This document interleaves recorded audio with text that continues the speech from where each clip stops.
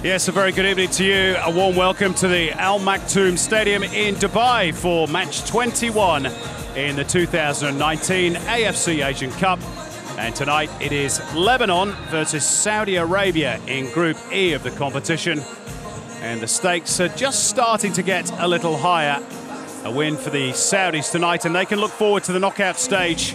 Lebanon just hoping to stay alive after suffering defeat to Qatar in their opening game.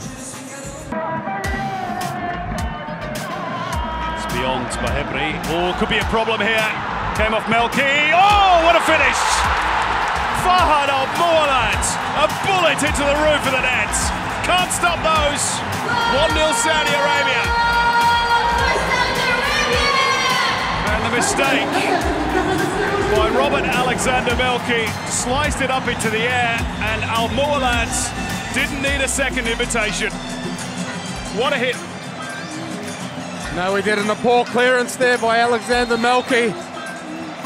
Opened it right up. It was an easy clearance too. Come straight off his thigh and teed it up perfectly. Keeper, that's better. And Melki arriving. Oh. Well, that's two chances that Lebanon have had and really should have scored with both, or at least got them on target. El Bishi. Now Al Muwallad. Bahebri. Clever feet by Bahebri. It's two. Hussein Al Mogahwi. That might just do it for the Green Falcons. And the trickery of Hatem Bahebri on that right-hand side did all the damage for Lebanon. Hussein Al Mogahwi applied the finish.